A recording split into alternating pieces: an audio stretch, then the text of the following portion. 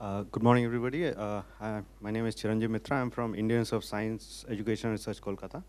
So today's first talk is by Professor Ajay Sood, and it's probing non-equilibrium carrier dynamics in graphene and MOS2 layers. Thank you.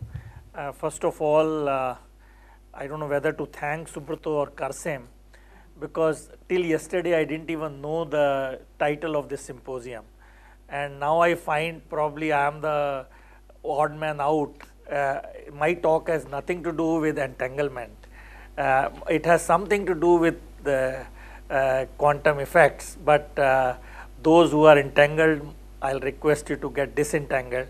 Otherwise, you will be finding where is the entanglement in the talk. So, I, it has nothing to do with this. I'll be telling you uh, on the experiments which we have been doing in the last one and a half, two years to understand the, the dynamics of the carriers which we generate by let us say pump uh, pulse and we are interested to know how do they equilibrate, over what time scale they equilibrate and what are the mechanisms at play in these two materials. One is graphene and another one is uh, few layers of molybdenum disulfide. So, uh, so this uh, that's the uh, uh, warning I had to give and uh, this work is done mostly by the graduate student Srabani. samples have been prepared by Shweta and Deepti and Eric uh, from Bordeaux was visiting us when the first uh, set of experiments were done and MOS2 samples were made by Rahul Nair at University of Manchester.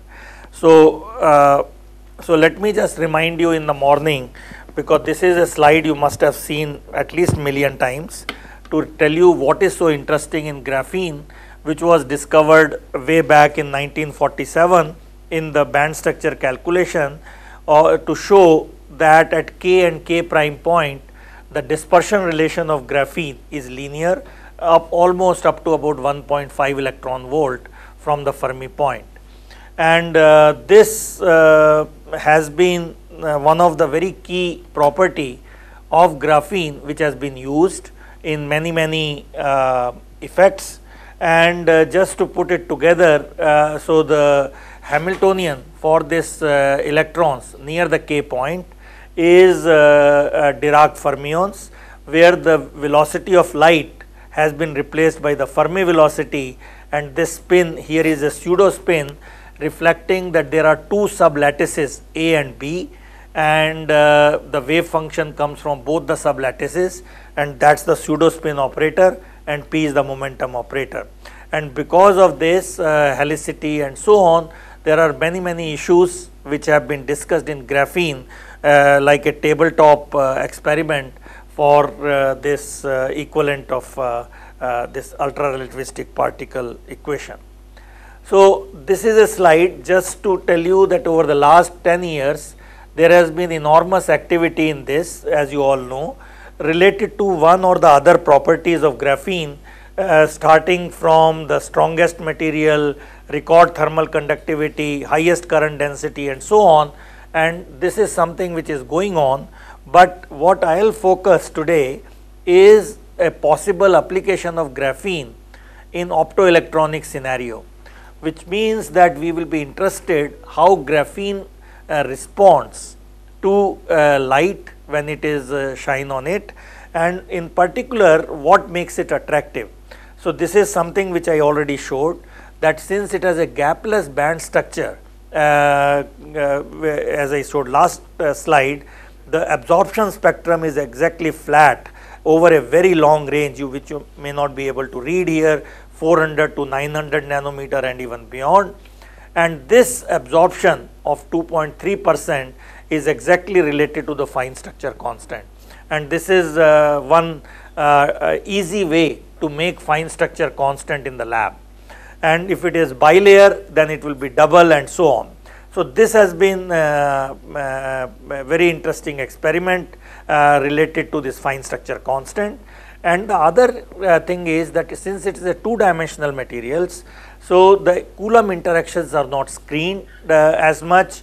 So, the Coulomb interactions are long range and this leads to very non-trivial uh, uh, non-screening of uh, electron-electron interaction which play an important role in controlling the dynamics of these carriers which I will be talking today.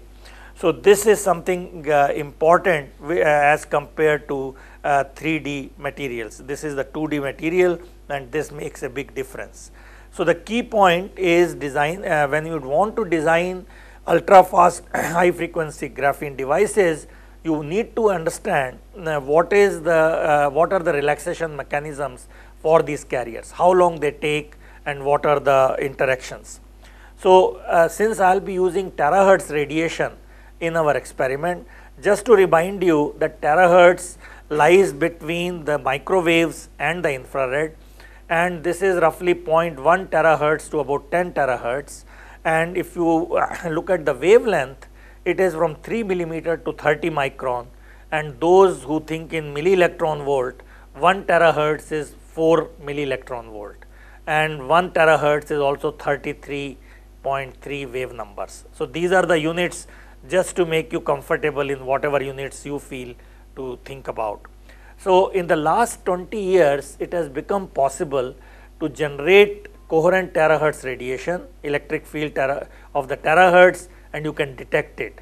This situation was not like this uh, before where the detectors and the sources were very very uh, clumsy and inefficient but now using femtosecond laser pulses you can generate terahertz radiation and that is what we have been doing and I will show you how. Now why graphene and terahertz? What is uh, so special? Now it uh, uh, look at the energy scale which I told you that it is uh, 1 terahertz is 4 milli electron volt. So it has easy access to low energy response of the free carrier conduction.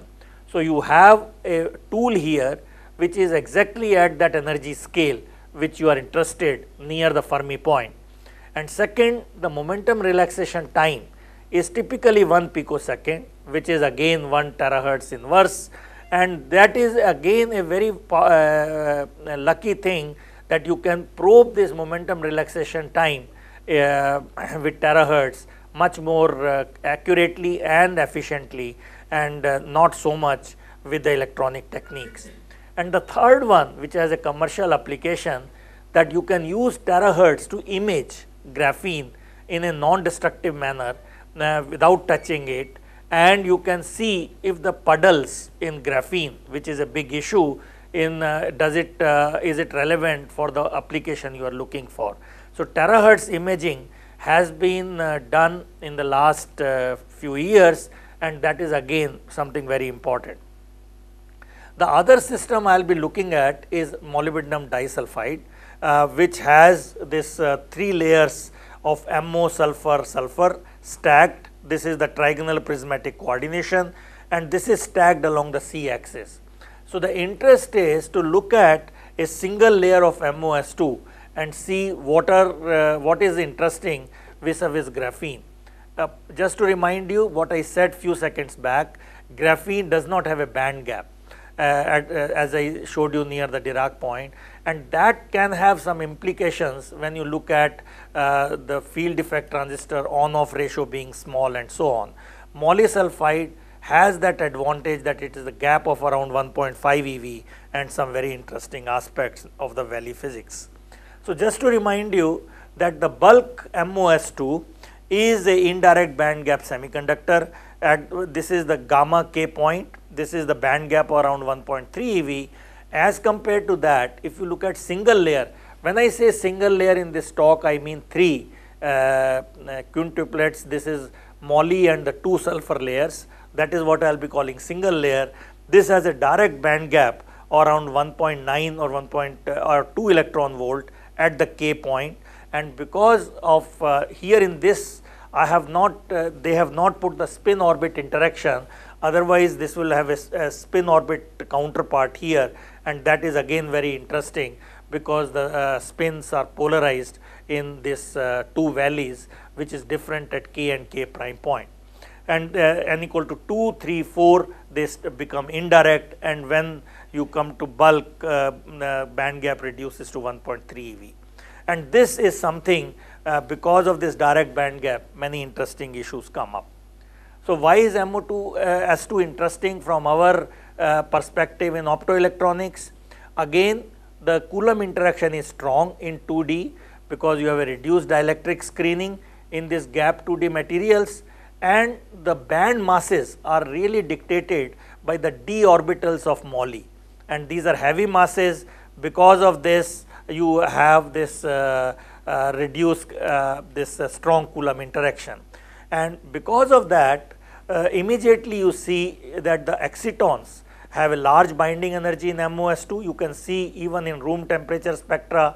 And what you also see are the charged excitons. Instead of electron hole you can also have now two electrons and one hole as a bound state. And that binding energy is 20 milli electron volt different from exciton. So you can see now this charged excitons. Now there are not too many systems uh, which where you can see the bound uh, two electron hole pair. This is also called charged exciton uh, or the trion. This has been seen and uh, these uh, uh, excitons and trions have small radii and hence they have large oscillator strength.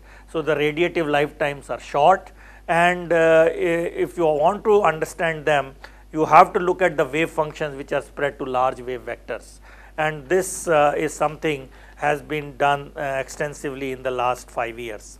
Again uh, from our point of view from the dynamics of the carriers one has to immediately realize that since it has strong electron hole correlations the it will make the Auger process uh, very very effective. Auger means you have the carriers which will uh, let us say uh, combine electron hole but that energy is not given let us say as radiatively it can excite another electron.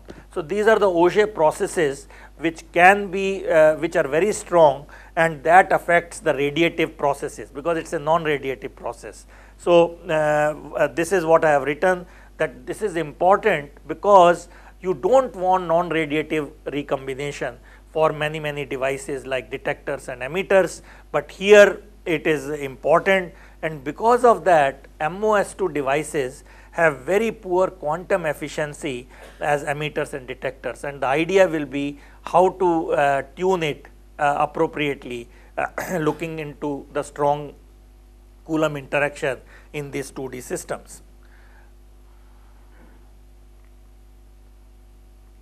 What happened? Okay.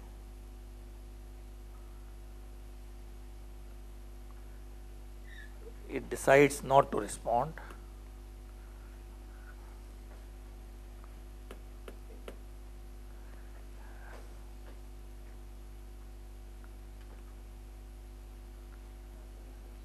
What happened? It hang. Ah, what did you do? No, I just pressed escape, so maybe Okay. can go back to your slideshow. Okay. Let's Uh, one thing that- Oh, okay. I don't know why it needs a break, I think. Ah, okay. Let's see if it works. Ah, okay. It need, needed your intervention. Okay. So let me now start uh, what we understand in these two systems uh, when we uh, excite the carriers and see how they relax. So first let me introduce uh, just the terahertz radiation to study graphene and MOS2. So this how we do we make terahertz in the lab? Uh, uh, for uh, I know it's a theory dominated uh, uh, audience, but occasionally in the morning it's good to see real life situation. So, uh, so this is more like a warm up how things are done. So you take a femtosecond laser, it's a line pulse width of 50 femtosecond at 780. You divide it into two parts. I'll tell you this part later. But this uh, pump is doubled in frequency. You become 390 and focus both of them omega and 2 omega in air. It ionizes the air and or uh, nitrogen and that produces very very effective terahertz uh, because this is the chi 3 process which I will not go into. You collect the terahertz, put it on the sample, look at what has come out and then with reference to the uh, some reference thing you can understand the amplitude and phase difference of the terahertz radiation which has passed through graphene. Now, how do we detect it? Again, you have to do something uh, electro-optic here. So, this terahertz, uh, so before I do that, I take the part of the visible laser and put it through this quarter wave plate, split it into two polarization and these are balanced because there is nothing happening. But now when the terahertz electric field comes, it disturbs the uh, um, balance between these and you measure the terahertz electric field. So it's a electro-optic sampling and you can get the electric field of the terahertz in the lab uh, in these experiments and that is what we do. We can do amplitude and phase. So the experiments are done in the following way. So you take a single layer graphene which is done uh, using uh, chemical vapor deposition, put it on a reference which is transparent to terahertz. In this case, it is alpha quartz. It's a crystalline form of quartz. So you do with and without graphene uh, and you look at this elect terahertz electric field versus the delay time. This is the time which you are scanning of that uh, visible laser pulse which I was telling you. This is the electro-optic sampling. You Fourier transform it and you get the terahertz uh, signal here. So you can get amplitude and phase which is related to real and imaginary part of epsilon or real and imaginary part of conductivity without doing any Kramer-Kronig transform because this is a coherent radiation. So you can do this at the end of uh, this exercise what you get is the conductivity of graphene plotted in units of G naught 2 E square over H which is 77 microsiemen as a function of frequency. I have shown three uh, lines just to uh, tell you what kind of uh, graphene we are looking at. I will tell you in a minute. Here the message is that it is almost flat. It is the Drude response of the carriers in graphene which is unintentionally doped. In this case it is p doped and since omega tau is much much less than 1 the Drude response is flat that is simply the uh, effect. So from here you can get uh, conductivity of graphene it is about 6 G naught and when you make another uh, compensate this doping which I will tell you how you get close to uh, 0 it is very very small Fermi level and when you do annealing you can recover that. So here we will be looking at two graphene samples one where there is a p doping of graphene and the other which is very close to the Dirac point. The Fermi level is very close to the Dirac point. And this is what I said in the re, in real life you make this CVD graphene which is unintentionally doped because of reaction with oxygen and water and then you can compensate by nitrogen doping or by field effect methods which uh, I will mention in the end. You can confirm that nitrogen has gone into the sample and here again without going into detail we show nitrogen is going in the non-graphitic form and it dopes actually electrons. So you can compensate the uh, p doping, but if you had a uh, non unintentional uh, undoped graphene, you would have done the n doping. So how do we uh, characterize? This is again something where optical properties have played a big role. So Raman spectrum of graphene is very revealing. It has this G band which is the official Raman allowed band at 1582 wave numbers and uh, in addition you have two, two features. Now D band uh, which is uh, occurring around 1350 should not be there, it is not Raman allowed and the second order of that is again very very strong. So this mode is the second order of this and this uh, uh, comes from the K point in the Brillouin zone which I mentioned where the dispersion of uh, electrons is also linear. So the K phonons uh, are responsible for this. This is defect induced and this measure of this with respect to this tells you what is the nature of defects and how many defects are present in graphene. And this one again I will not go into this can be present even without the D band because it is a two, two phonon Raman scattering Q and minus Q always conserve the momentum. So without going into the details, what we can measure the frequency and the line width of G and 2D is a very good measure. And uh, we had done these experiments with Anindya in 2008 where we had made a field effect transistor out of graphene and by this continuous tuning of the doping electron and hole doping, we exactly know how the position of G and 2D vary with respect to doping and how the intensity ratio varies. And there is a very interesting physics which is the renormalization of phonons in this is the non-adiabatic effect which you can calculate. And this is the theory line not so good but uh, reasonably produces the trend. And this experimental data is now our calibration. So, we can use this and estimate precisely where the Fermi level is. And we do that and uh, uh, we can know that the Fermi level is around 180 in the on the p side and when you compute it, it is very close to the Dirac point it is around 10 MeV. Another bonus you can get is the intensity of the D band because that is related to defects you find out this intensity ratio and you can calculate what is the region of graphene which is defect free. There is a, a relation with, uh, with that you do that and what we did we went one step ahead. This is something we were not sure it will work. From that defect free graphene which is sp2 bonded we know the Fermi velocity. So, we estimated the relaxation time momentum relaxation time it is about 34 femtosecond for pure graphene and nitrogen compensated is 15 uh, femtosecond and we put that in conductivity uh, uh, formula which is the high scattering rate limit and lo and behold the G naught we uh, the conductivity we get is very close to what we measure with terahertz. So, this is about 6 G naught and this is around 1.4 G naught. So, this is the Raman way of determining the conductivity of graphene. So, and uh, uh, uh, terahertz experiments seem to agree with this. So, this is something what we showed that it is flat. Now, is it always so boring that terahertz conductivity is always flat? You will ask.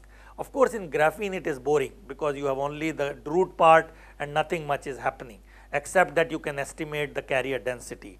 But if you have graphene like a bilayer graphene and those bilayers are not fully aligned like AB stacking, then you can get interesting effects and you can really find out uh, what is the nature of the stacking. So, this is what we did, uh, this is not on bilayer, but this is a membrane.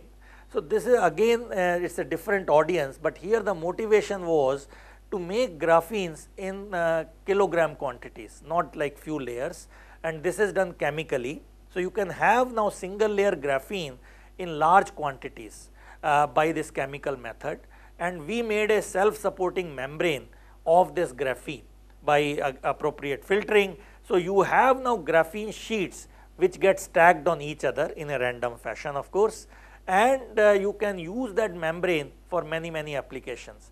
So, we wanted to know the terahertz properties of that and now if we look at the terahertz uh, spectrum the real and imaginary part are no longer flat which is what I was showing in the last slide it has these resonances and these resonances are close to 2 terahertz.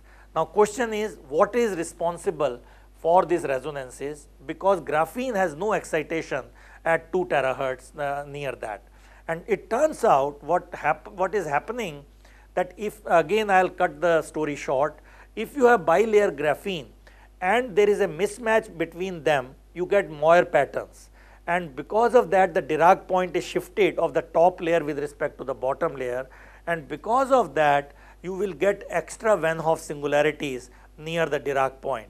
And this transition is exactly what we are measuring in these uh, samples which have few bilayer uh, which are misoriented and this is something you can quantitatively tell how much mismatch is there between these two layers uh, where uh, you are affecting the electronic properties.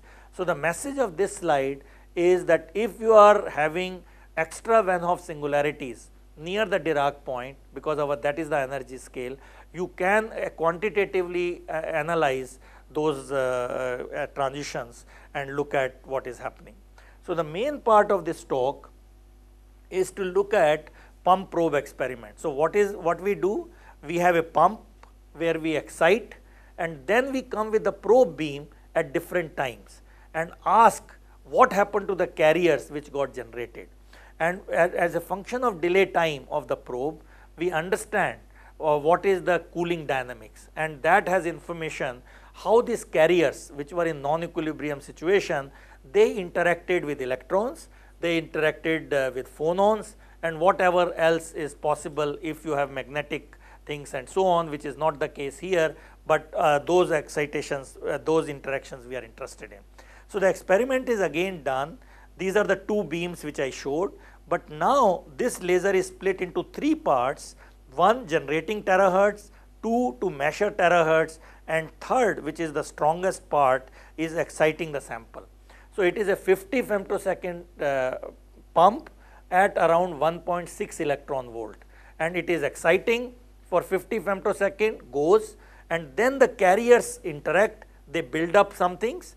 And then after reaching the maximum they decay, uh, uh, the, the effects uh, vanish. And the in information in the decay and the maximum it can create is what we are interested in. So what we do in the, so why is it interesting? Why is it uh, what we are doing? Now in the last 5 years there has been a big controversy in this field namely that when they take graphene and do this pump probe experiments, uh, I have plotted uh, either uh, transmission or conductivity which is negative of each other, but the message of this is that when you shine the pump laser, the conductivity increases. Of course, that is nothing very great about it. This is what you expect. You have put it extra carriers and those carriers will give you extra Drude conductivity, intra-band transitions. So this is something well understood. But what is not understood are another set of results where the conductivity decreases when you pump. So the conductivity of graphene has reduced on pumping. This is somewhat uh, counterintuitive and this has been seen again by four groups to show that the conductivity decreases when you pump it. So I will call it negative dynamic conductivity. So the conductivity decreasing is not very common. So why is it happening? Now this has a possibility which is again uh, very uh, tantalizing that you have stimulated emission here because if you have stimulated emission your transmission will increase which means conductivity will decrease. So this theoretical uh, uh, uh work suggests that terahertz is amplified in graphene effectively and it may be the reason. So which means that the electron hole pockets have a different population, they, decay, they have a different dynamics and that could be one possibility they have uh, pr uh, projected way back in 2007 theoretical proposal that whether one can have a laser terahertz lasing action from graphene. So the experiments go like this. So we look at uh, uh, conductivity, real part of conductivity units of G naught versus the delay time. So please go, uh, look at the uh, data. This is where the uh, pump comes, pump and it creates the change in conductivity which equilibrates uh, in about, it's a quasi-equilibrium, in about 1 uh, picosecond from here and it reaches minus 1.5 G naught. It's a very large change in conductivity. And after this, the carriers uh, relax and come to the lattice temperature and that can take about 8 to 10 picosecond. So the question is, why is it negative here? But now when we do on a nitrogen doped graphene, which means the Fermi level is very close to the Dirac point, it is positive. This is what is the common wisdom. This is not what you see often and this is what we want to understand. If you anneal this sample and make the Fermi level again uh, go to minus 200 or minus 180 and again you recover this uh, spectrum. So we would like to understand quantitatively this uh, change in the sign and also sometime magnitude when you change different graphene. So in all the earlier work what had happened is nominal graphene was different uh, conditions in different labs and this is what we want to quantify. So let us look at the mechanisms which are responsible. Immediately you know that uh, you have the carriers, they will have an intraband uh, scattering and uh, this intraband scattering will contribute to the terahertz conductivity and this is what you can quantify. I will not go into detail. It is a very simple expression uh, derived many years ago that it will depend on the Fermi level and it will also depend on the momentum relaxation time. So, this intraband which is the Drude like conductivity which is what I have written here will contribute if you plot it as a function of Fermi energy it will be mostly positive and because of the effective temperature being high uh, it will it can also be negative. So, let me say again something very clearly right now. So, here we are working with these two temperatures your lattice temperature is let us say 300 Kelvin, but when you pump it you have created the carriers which are very hot and those carriers are not in equilibrium. So, they will quickly do something electron electron interaction between them and come to a quasi equilibrium with a electron temperature which is much much higher than lattice temperature. It can be 1000 degree uh, Kelvin as compared to 300 Kelvin. Those uh, hot electrons have to then relax. So, this the way it reaches equilibrium uh, quasi equilibrium is what I was saying whether it is negative or positive and how they relax back to the lattice temperature is the cooling dynamic. So, there are two issues here. So, first we are looking at the magnitude of the total change in conductivity whether it is positive or negative uh, change. So, intraband is mostly positive and interband uh, transitions can also be responsible for this conductivity change, but this is 1000 times smaller. So, I will ignore this interband contribution for the terahertz range and uh, go to un only understand intraband. But this cannot explain all the results which we have and what people have because negative part is extremely small. So, now uh, what is the second, uh, what is the other possibility? Here we come to a mechanism which is proposed uh, in 2013. So, what is again coming is the Coulomb interaction between the carriers. So, the idea is that you have this photo excited carriers and these carriers interact Coulomb interaction with the available carriers. So, the carriers were already there uh, let us say you have the doping. These this Coulomb interaction makes this electrons hot. So, they gain energy and this uh, changes the lifetime uh, the relaxation time uh, of these uh, carriers. And if you look at the Boltzmann transport theory, phenomenologically you can see that the momentum relaxation time it increases, it will decrease the conductivity. So, the conductivity decrease is happening because these carriers interacted with the existing carriers and make them hot and this is called carrier carrier scattering uh, leading to secondary hot carriers. Question is does it explain what we observe. So, here we calculate again uh, from the formalism that how this change in conductivity happens. Again it depends on the density of states, it depends on the electronic temperature which does uh, uh, uh which does uh, which depends on the fluence and the second derivative of this Fermi function. And you put that in this uh, analysis and we can show that this contribution is always negative. So, you have negative contribution from secondary hot carriers. So, you put them together both the contributions and now we have a composite uh, expression or composite plot of the change in conductivity as a function of Fermi energy and momentum relaxation time. So, this uh, actually can uh, capture all the scenarios of graphene so far. So, it can quantitatively explain how much is the change in conductivity due to pump, whether it will be positive or negative by the relative contributions of this intraband and the secondary hot carrier generation. So, this is the first part of the story which explains that how we understand graphene uh, change in conductivity due to pump. The second part comes how they cool because once you have created how do they cool. Now, one obvious thing is that these carriers will have electron phonon interaction and they will emit the optical phonons and keep on losing energy or cooling down. Now, this can happen up to a point where the energy is less than the optical phonon because optical phonon in graphene is about 200 milli electron volt. So, this cooling it has been it has it can be shown it happens over about 400 to 500 femtosecond. So, in 400 femtosecond they come very close to the Dirac point less than 200 milli electron volt away Now you want to know how do they cool. Obviously, you have to invoke lower energy excitation, which is acoustic phonons. Now they will start emitting acoustic phonons, but since they have so little energy, it will take you ages. And actually you can calculate it takes about 500 to 600 picosecond. So that is not what we are having. Our system is showing a dynamics where the cooling is occurring over about 5 to 10 picosecond. So what else is happening? And this is where this mechanism comes into play.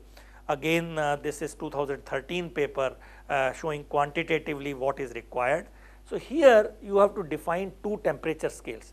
One is the lattice temperature and another one is the Bloch Grüneisen temperature which is what I have written. It depends on the uh, sound velocity with respect to the Fermi velocity and the Fermi level. So this you can show that in this range you can have a possibility to invoke acoustic phonons which will have large momentum which means large energy. But that momentum conservation you have to appeal to disorder. So it is a disorder mediated acoustic phonons emission which will cool and since the energy is large you can show that it will cool very fast within 5 to 10 picosecond.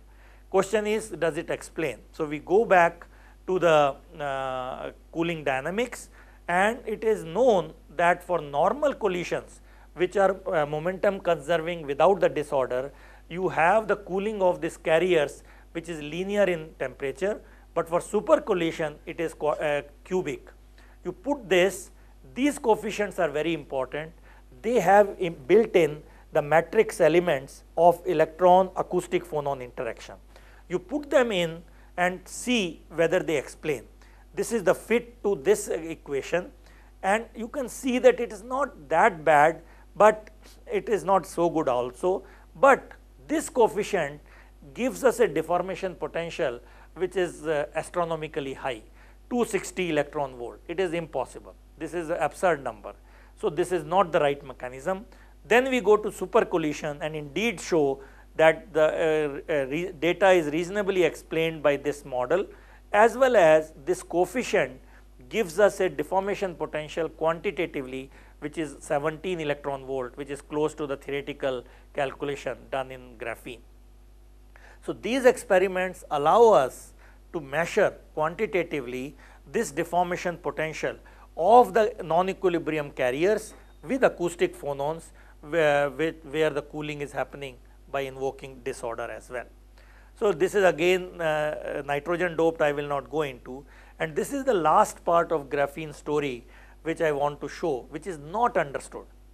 So this is a problem which we have not understood. So let me explain what is not clear here. So far whatever I have said there is a reasonable uh, uh, analysis and reasonable number of the deformation potential and all that. But this is where uh, I want to spend 5 minutes to tell you that it may be little more interesting. So here what we are now measuring, we at different delay times you can measure the entire terahertz uh, conductivity as a function of omega because these experiments allow you both. Now we are fixing the delay time it can be 0 0.1, 0 0.2 picosecond, we do as a function of picosecond delay time and measure the entire terahertz spectrum. Now what I have plotted is the photoconductivity change delta sigma as a function of uh, terahertz frequency. So please look at this graph, this is the real part and this is the imaginary part from the data. Now the surprise here is if it is all Drude which I told you, uh, this is the intra-band transition, this should not have crossed the 0 because there is not, when you, when the imaginary part crosses 0, which is the uh, imaginary part of conductivity, which is related to the real part of dielectric constant and so on, immediately you realize something else is happening. What it means is that there are electronic resonances, some resonances occurring in this delta sigma of omega and these are the fitted lines. What is the fitted line? This is again uh, uh, what we do all the time. We will take a Drude model, but since it does not explain, we will put a Lorentzian because Lorentzian has the real and imaginary part again and you can show that this one exactly fits the data. So, but we have to explain something here. In Lorentzian, there is omega naught. What is that uh, oscillator? Because uh, uh, Dirac cone has no such resonances, as I said. This is single layer graphene. So there are no uh, other Van Hove singularities. So the problem is now, right now, in the literature, our data shows that, and there are another two papers uh, uh, recently which have also shown that it is uh, not only the Drude, the uh, physical significance of this omega naught. So I have given few possibilities. Is it a surface plasmon in Dirac uh, in, in graphene? The numbers don't look right. Excitonic transitions at the Dirac point. At least I have not heard of this excitonic levels because there is no gap even. Quantum confined states, possible we don't know.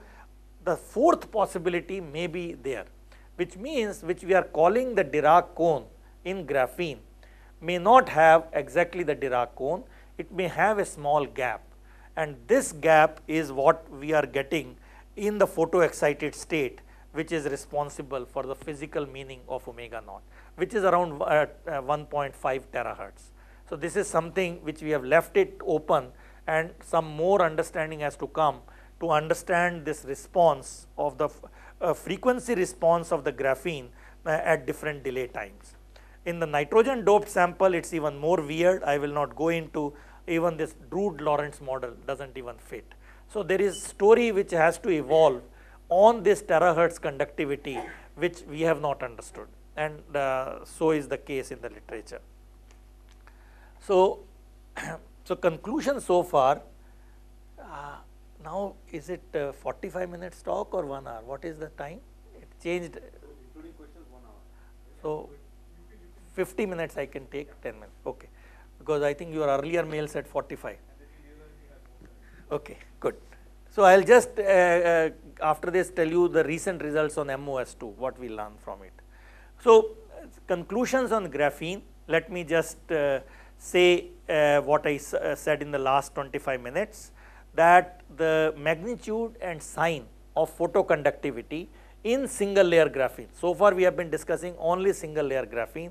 In multi uh, bilayer graphene, it can have even more issues of single layer graphene depends on Fermi energy and momentum relaxation time. That is the key point because these two uh, parameters of graphene decides the relative contributions of two processes, intraband process and secondary hot carrier generation, which is coming from the Coulomb interaction between the carriers. The second part of the talk was to show that the cooling of the photocarriers, which uh, happen uh, over few tens, uh, few 5 to 10 picosecond necessarily involves the supercollisions involving acoustic phonons and disorder. And the third part was the ununderstood uh, story that this uh, terahertz conductivity, the frequency dependence, we really don't know what is the origin of uh, that behavior which is different than Drude. So we have put Drude Lorentz with a caveat that we don't understand the physical significance of omega naught. So this has yet to be understood. So now very recently people have done similar experiments where instead uh, uh, N doping and so on, they have put a ionic liquid to change the N and P, uh, the conductivity of graphene, which exactly shows what I described.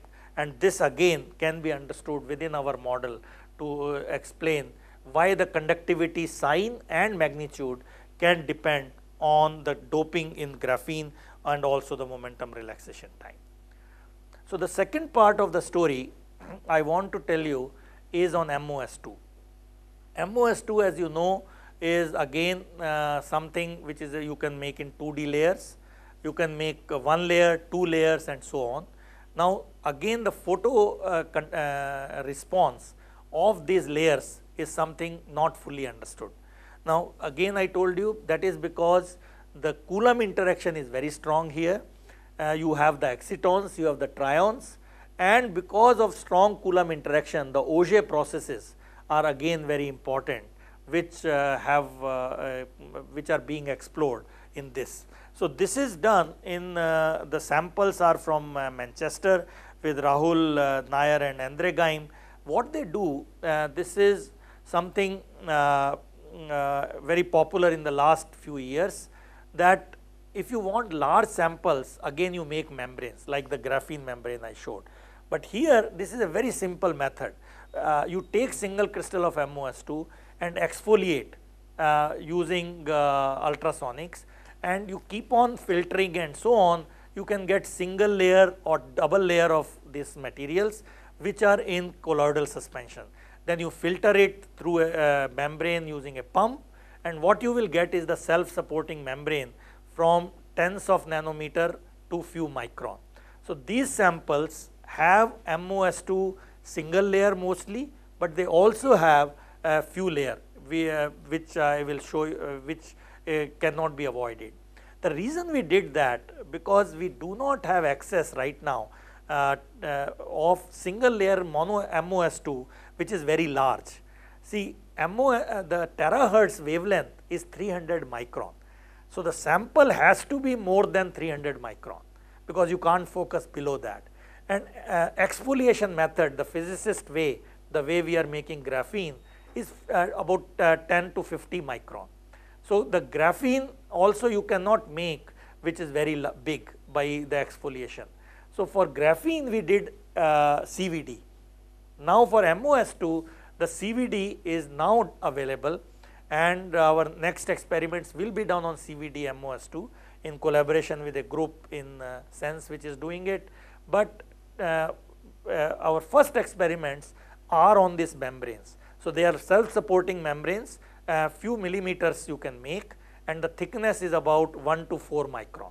And what we understand from this is the talk, uh, is the results I'll show you in next 5 to 7 minutes. So you can characterize them, you can show they have a good Raman spectrum, this is from the sample and you can also show their photoluminescence which is dictated by excitons which I call A exciton and B exciton without going into detail. So it has the features of single layer and uh, a few layer. I will not go into detail. Let me, huh. So what we are doing in this experiment, our pump is 1.58 electron volt and probe is terahertz. Again the same experiment, but now we want to look at a system which has a band gap of around 1.8 electron volt. In single layer and multi-layer it will be less. So what we are doing here, please look at this. This is the pump laser and uh, by uh, assisted with the phonons, uh, you can have the transition uh, to this lambda point. So you have the carriers here holes here and you want to look at the dynamics of these carriers. So if you have a larger uh, energy uh, pump, you can directly go at the K point. This, this is the K point which is about 2 electron volt. So let us see what we get here. So this is the usual characterization of the time domain signal. You can measure N and K which means there is hardly any absorption because these MOS2 are undoped. So you have very little absorption only the refractive index you can measure with terahertz. now this is the experimental result I want to explain in a few minutes.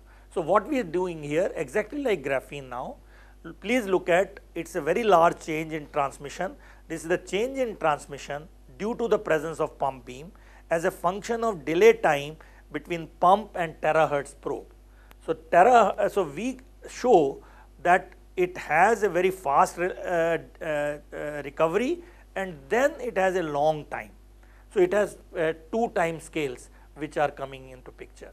So this is delta T by T is negative which means the change in conductivity is positive which is what you expect. The intra-band transitions is what will make MOS2 more conducting when you uh, photo excite. How do we understand? First thing is we look at the magnitude of this as a function of the pump power. Are there nonlinear processes involved? Answer is no, because that maximum change or the effective electron temperature if you want to call it as a function of fluence of the pump is linear which means no nonlinear process is involved. It is a one uh, photon uh, pump process. Now uh, you can take this data and blindly fit two exponentials. This is the easiest way experimentalists do. So what we get here, it has three exponentials, 1.3 picosecond time constant, 16 picosecond and 240 picosecond, which means there are three uh, relaxation times and we would like to know what is happening. So these uh, fitting will not tell you anything, it just gives you a time scale, which is not very helpful. We want to go one step further. So what do we do? when we are looking at this, a very recent paper few days back has appeared in 2015 nanoletter, which is looking at the same problem in M, uh, monolayer MOS2. And what they get are again the two time scales, not the three. And their data shows again a similar time scale, fast and the slow. Now what is the mechanism? So they have a proposal here. The proposal here is that you have uh, traps of two types. Traps which they call fast traps, traps which are called slow traps. That is not clear what will be slow, what will be fast because they have two time scales.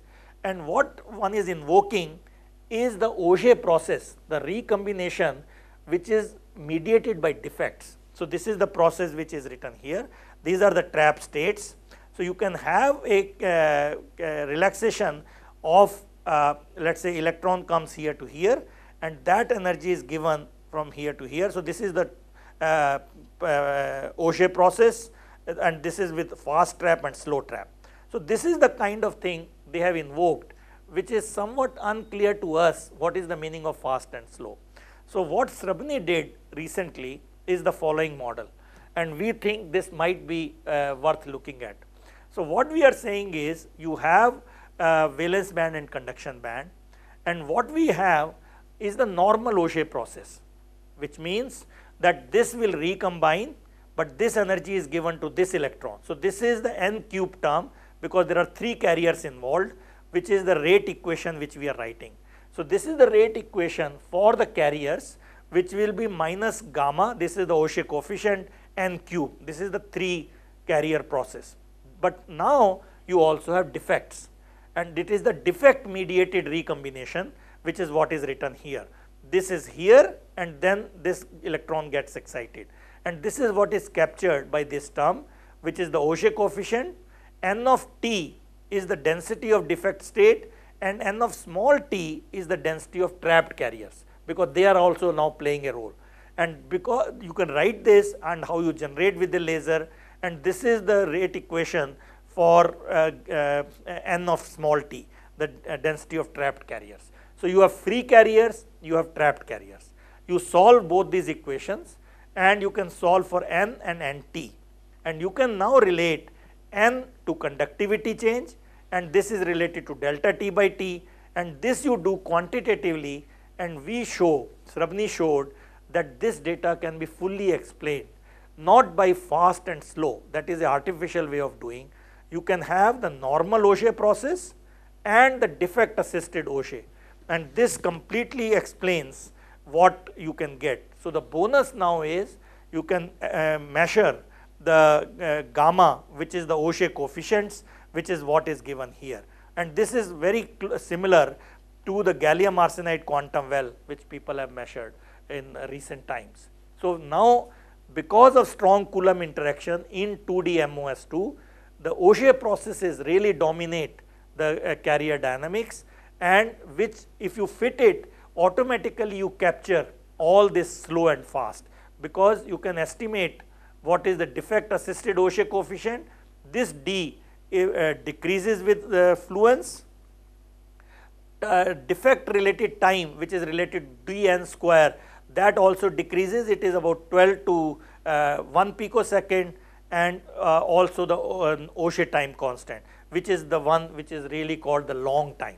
So without going into detail the moral of the story is that you have two processes normal Auger and defect assisted Auger in MOS2 because MOS2 have lot of defects which uh, control and at the end of it you can show how the trapped carrier density varies with fluence and uh, this of course increases and saturates and uh, it also shows how long these carriers will go and fill all the trapped states and this takes few picosecond and all this can be quantitatively extracted from this pump probe experiments in MOS2. So let me close this talk.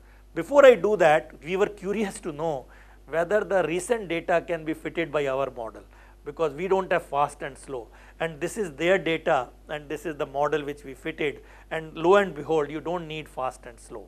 You can just put uh, normal Auger and defect assisted Auger which explains uh, the recent data. So that probably gives strength to what we are saying.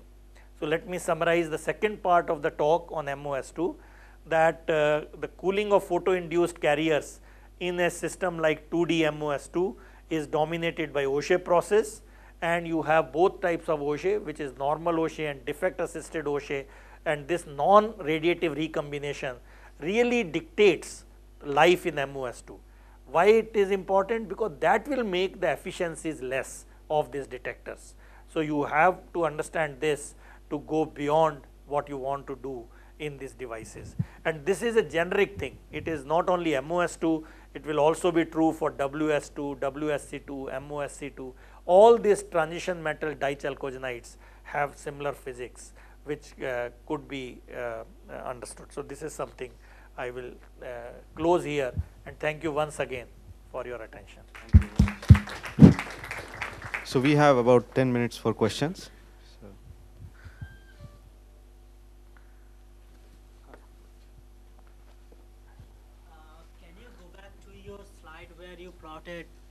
Uh, photo-induced conductivity versus frequency for graphene?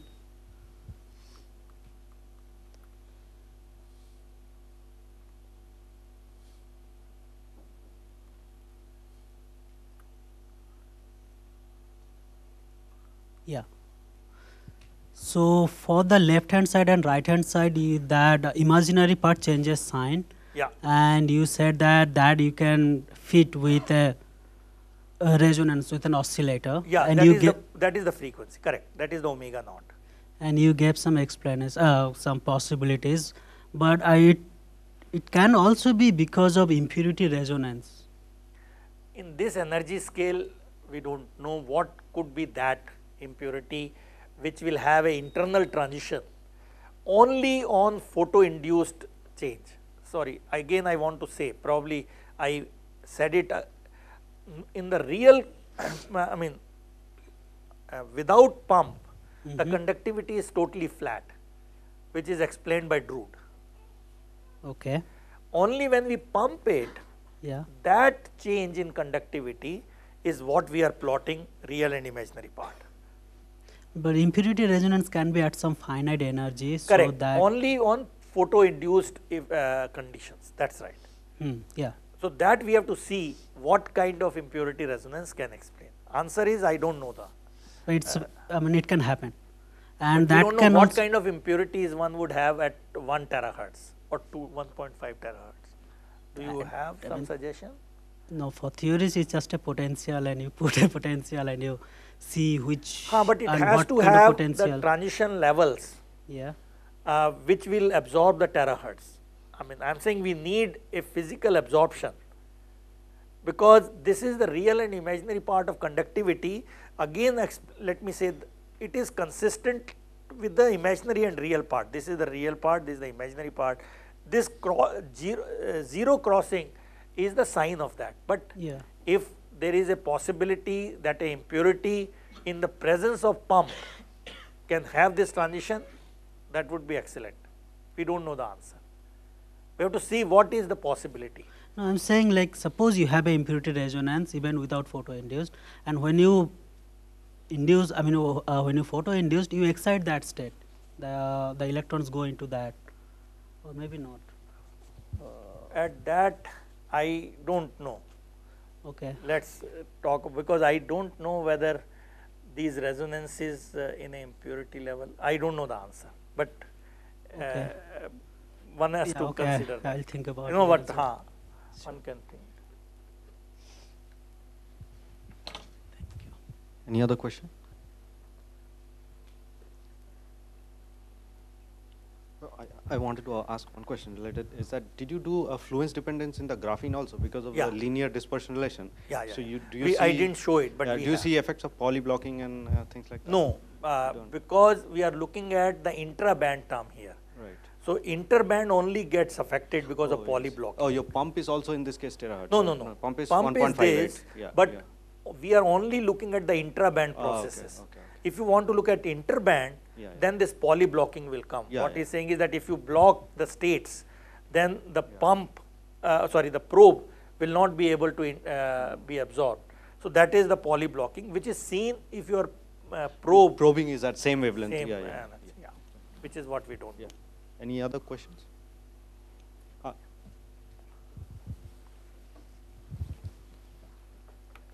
So in the MoS2, did you see this effect as a function of number density? Will the ratio of these two direct Auger and the defect assisted Yeah. change? Yeah, so what, absolutely. Uh, because we did as a function of fluence, which changes the density, correct. So I went over it bit fast because uh, I'll show you that data. Give me half a second.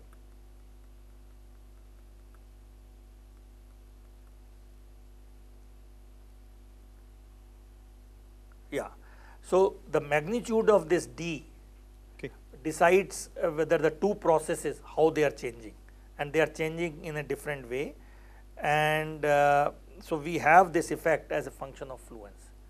And it decreases like 1 over 5 which we don't understand quantitatively empirically we know it's like uh, as you increase the fluence these uh, things are affected as 1 over 5 d uh, but we don't know the answer here gamma is not changed with phi Okay. gamma is the normal Auger, which is the property of the material. That we don't change.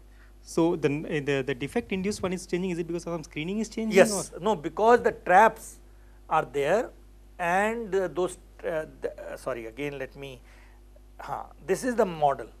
The point is that here, this trap states, they are really mediating this recombination. So this will be that uh, uh, this can come here and this can be uh, uh, uh, combining with a hole or it can just get trapped there and that energy is given to this electron. So this trap states are the ones which are really not contributing to radiative recombination. This is also not contributing to radiative recombination, correct? Because this energy is really given to this electron qualitatively. Yeah. So what are the technological prospects of these materials, molybdenum disulfide? So molybdenum disulfide, uh, there is an enormous uh, hype right now. Uh, but if you want to use it as a photo detector or photo uh, or emitter, then these issues have to be looked into. So the quantum efficiencies are poor, unlike gallium arsenide and other materials. So there might be some other applications, but in uh, uh, optoelectronics, one has to live with this issue. And as I said, the relaxation time is over 250 picosecond. So it's not going to be a fast detector. So that, uh, because of this normal Auger, it comes into picture. Do you have uh, defect assisted Auger even in materials like gallium arsenide? No. Yes, it should have, Should. but, uh, more so in low dimensional gallium arsenide because then the Quantum screening- dots and, uh, quantum dots and uh, very thin layers. Answer is yes, and people have invoked that in gallium arsenide quantum wells, Quantum. uh, not the bulk gallium Not the bulk, arsenide. yeah. But uh, answer is that the number which I gave of Mm-hmm. gamma uh, is from gallium arsenide quantum well Mm-hmm. actually, which I gave some number somewhere. Yeah, Yeah. this number is from those Yeah, experiments, Right. which is similar to Yeah. MoS2. Yeah. Okay. Any other question? If not, let's thank the speaker once again. And uh, we break for tea or coffee and we come back here at uh, 11 o'clock.